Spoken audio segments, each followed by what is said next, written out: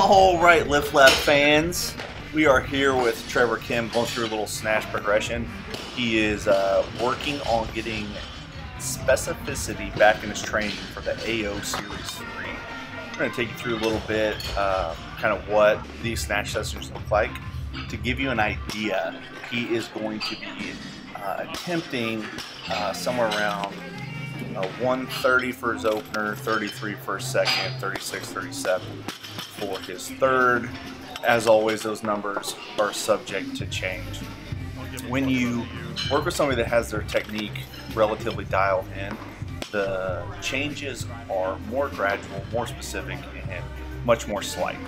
The big overarching issue with Trevor is he has a tendency to open up too soon and get his shoulders behind the bar too soon. And what this does is it kind of takes his legs out of the lift to some degree, and he ends up uh, basically using more back than we would like him to. So you'll see Dan talking to him about uh, using his legs, driving through the top, and uh, trying to stay over the bar.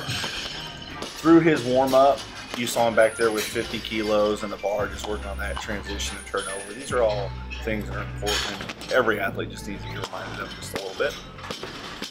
You'll see Trevor in his hurry to speed up and get under the bar. Sometimes he'll quote unquote cut the pull short, as everybody likes to say, uh, which basically he's just not getting the timing at the very top of his lift. Meaning, we want you to think that there is a button across your hip crease, and you've got to hit that button with the bar to then eject or launch yourself up onto your toes. So that's essentially what you're working on Trevor.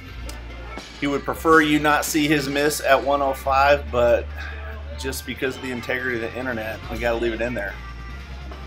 For somebody who's uh, going back to spec the specificity block of training, knowing that he can consistently hit 130 kilos, he's going to work up to, uh, I believe, 110 or 115 in this session and not go too much heavier than that as he's like just getting back in to heavy lifts.